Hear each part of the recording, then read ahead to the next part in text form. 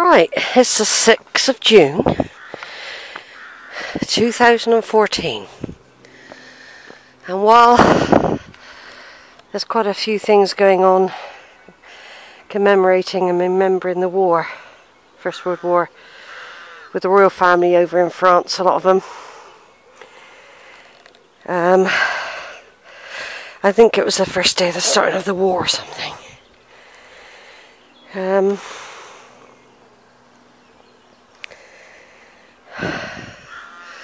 I've returned to Clare so I want to go in the museum today.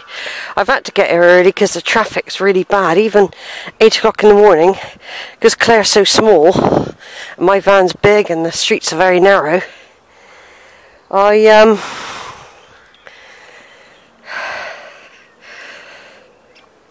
I had to get here earlier, and even that was difficult.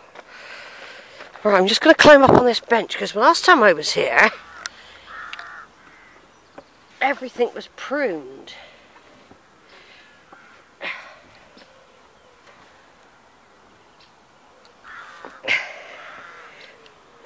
So I've got to climb up here, see? And you can't see down. All this has been clipped last time I was here. I think they are doing some restoration work to the railway, old railway station down there. But um, here's the countryside. Here's the castle built by the De Clares. Um, the archaeologists were here last year and I've been down and had a look at some of the areas what down there in the greens where they dug pits and found stuff. They found skeletons. Now since I was here last there's been a new bit put on the top, look. A little bit has been added. There's been a bit of a shelf put in and those two turret things, the towery things, I don't know what you call them. They've been put on there and there might even be another plaque on the wall. I'm going to go over and read that in a minute. And the flag's up. The de Clare flag. Right, so over there's the town. I'll be going there later.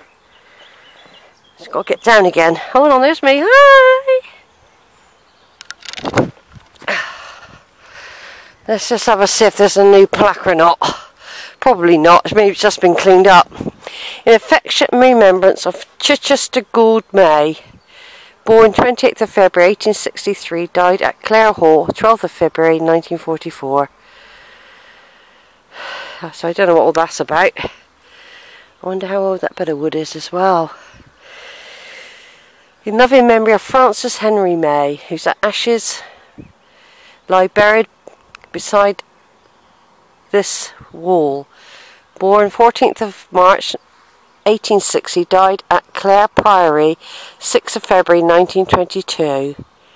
Also of his wife, Helen Augusta Victoria, born 27th of March 1863, died Clare Hall 3rd of October 1945, whose ashes also lie here.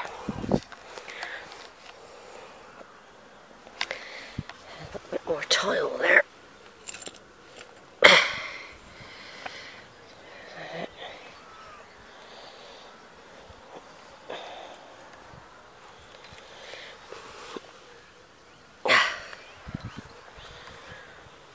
And there's something else. I don't know if I noticed any of this before. Christopher John Kitchen Smith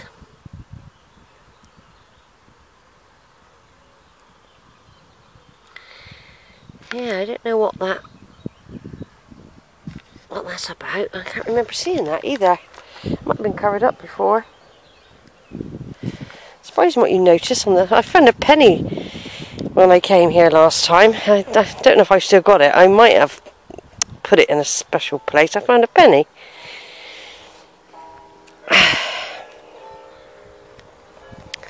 So made a look at that then. Pebble Dash. Has been had a bit of restoration done, I can tell, because it's so clean. They've put a little bit over there again, cementing it in a bit. Keeping the restoration going.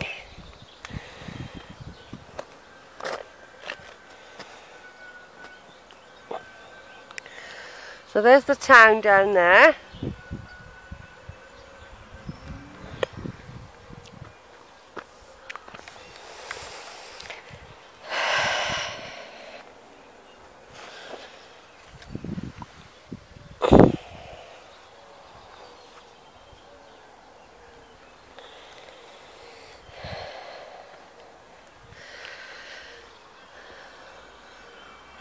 Just have a walk round the back. I'm just doing a little bit of video. This is an update. It was four years ago I was here, you see. And there has been some changes, of course, because the archaeological digs. That's new. You see that flagpole? Although, look, it's been blowing quite a bit in the wind with the three chevrons on it for the de Clares. They need a new flag. That wasn't here, you can see that. And they've done a little bit of tidying up here and there. Well, that's all what's left, so I suppose they got it, haven't they? I'm just looking to see if there's any other marks I might have missed before.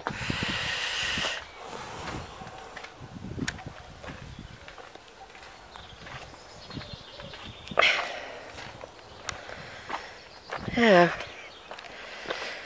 Right, so this is Sheila, whose ancestors built this castle. Very powerful baronial family of England. Over and out.